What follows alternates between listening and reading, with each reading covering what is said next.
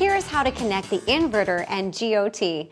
The models we're using this time are the FRE700 series for the inverter and GT2708 for GOT. The connection cable is for RS485. And in fabricating the cable, keep the total cable length of the cable under 500 meters.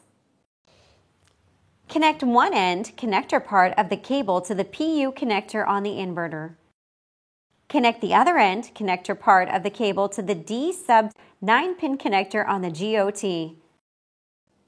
Now let's try the communication settings for each device. First, set parameter 79 to 0 on the inverter. Similarly, set parameter 117 to 0, parameter 118 to 192, parameter 119 to 10, parameter 120 to 1, parameter 121 and 122 to 9999, parameter 123 to 0, parameter 124 and 340 to 1, and parameter 342 and 549 to 0. Make sure to reset the inverter after setting these parameters. Now the inverter setting is completed. Next are the communication settings on the GOT. GOT requires dedicated software, GT Designer 3. First, let's start the GT Designer 3. Set the channels for the connected devices. Go to the Common Setting menu and select Controller Setting. When the Controller Setting window appears, select the channel number from the List menu. Select Mitsubishi in the Manufacturer field and FREQROL 500, 700, 800 sensorless servo for FRE700 series inverter in Type field. Select Standard Interface RS422485 in the IF field.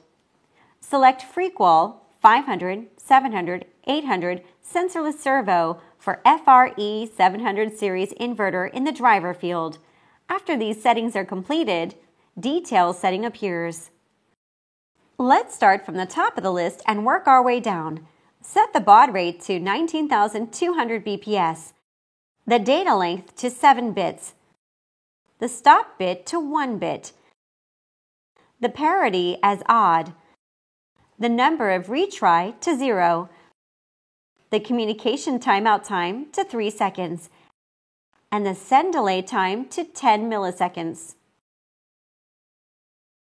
Click Apply to complete the GOT settings. Lastly, write the communication settings to GOT. Now GOT and the inverter are ready. Let's try operating these. There are switches and meters on the GOT screen. Press the switch. You can see the meter reading value has changed.